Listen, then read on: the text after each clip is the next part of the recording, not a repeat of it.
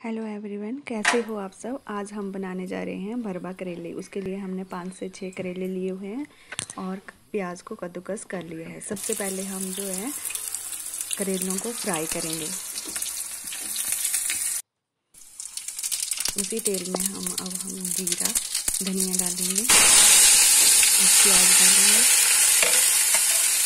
और इसको अच्छी तरह से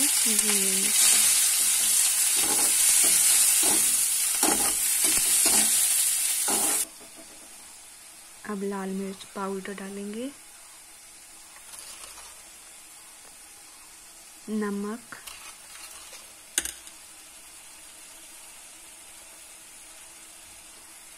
हल्दी पाउडर। और इसे मिक्स कर लेंगे। इसमें मीठे सौंफ डालेंगे। आमचूर पाउडर। थोड़ी सी चीनी भी मिक्स करेंगे।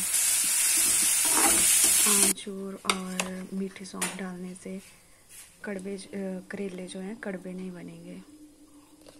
इसका अच्छा फ्लेवर आएगा। अब हम करेलों की स्टफिंग करेंगे।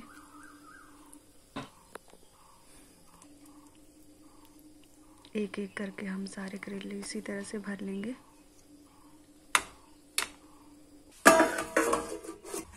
दो तीन मिनट के लिए दोबारा इन्हें पकाएँगे। अब हमारे करेले तैयार हैं।